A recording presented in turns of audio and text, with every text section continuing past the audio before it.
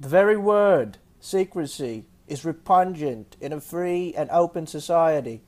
And we are, as a people, inherently and historically opposed to secret societies, to secret oaths, and to secret proceedings. You can't convince the lowest white man he's better than the best colored man. He won't notice you're picking his pocket. In all the decisions I have made in my public life, I have always tried to do what was best for the nation. Throughout the long and difficult period of Watergate, I have felt it was my duty to persevere, to make every possible effort to complete the term of office. I promised you four years ago that I would never lie to you.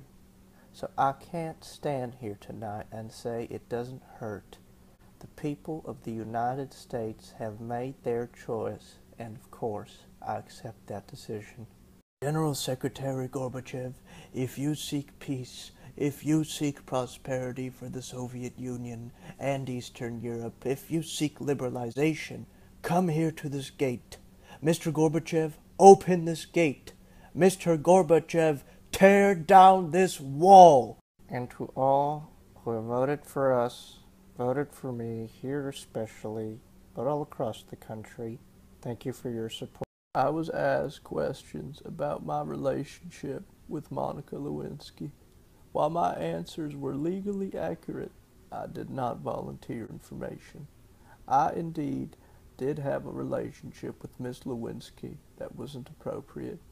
In fact, it was wrong. It's too late for Saddam Hussein to remain in power. It's not too late for the Iraqi military to protect your country. Peaceful entry of coalition forces to eliminate weapons of mass destruction. Make sure the benefits of such integration are broadly shared. Those dishonest fake people, those fake media people back there, who won't even show you the crowd size.